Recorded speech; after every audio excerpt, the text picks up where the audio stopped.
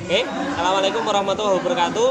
Eh, pada pertemuan kali ini kita bersama dengan Mas Fauzan, ya mekanik ganteng kita, ya akan mempraktekkan yaitu penggantian rantai mesin pada motor Supra X125. Oke, untuk lebih jelasnya simak video berikut ini. Langkah yang pertama yaitu uh, melepas persneling ya, kemudian melepas bak mesin sebelah kiri atau crankcase cover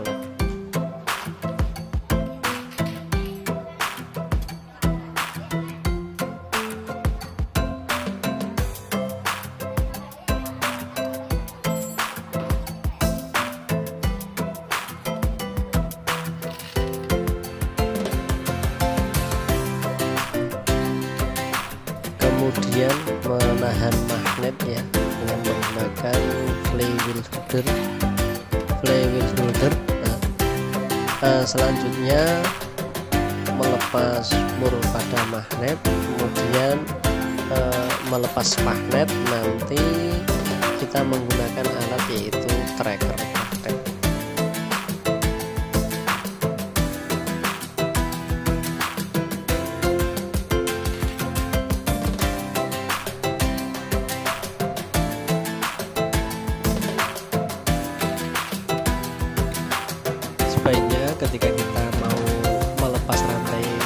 uh, mesin ya tadi sebelum pembongkaran harus stop kompresi ya.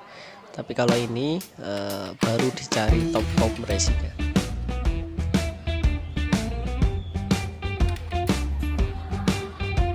Kemudian lepas baut sprocket ya atau gear noken as ya yang bagian depan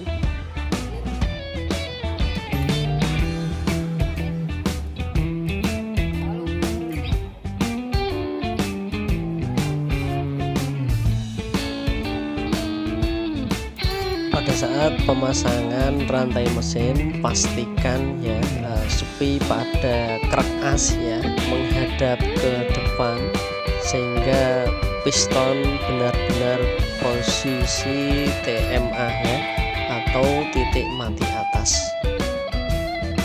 Kemudian jangan lupa tanda penyesuai ya nol pada sprocket atau gear noken as juga tepat dengan tanda penyesuai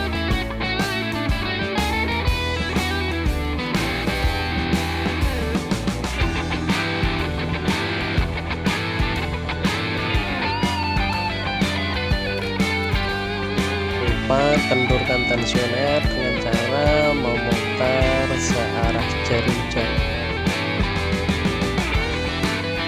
pastikan momen pengencangan baut sprocket sesuai dengan BPR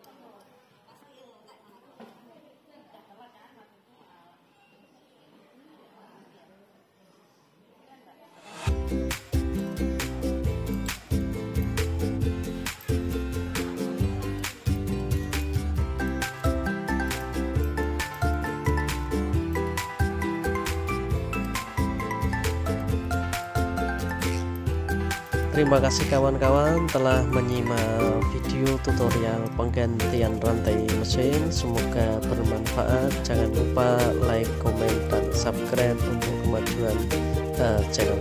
Saya kiri. Assalamualaikum warahmatullahi wabarakatuh.